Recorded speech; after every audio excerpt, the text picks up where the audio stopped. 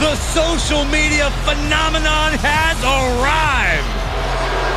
And his opponent from Cleveland, Ohio, weighing in at 185 pounds, Logan Paul. Many guest appearances at the invitation of the likes of Sami Zayn and The Miz. Yeah, I kind of question the company that Logan Paul has chosen to keep.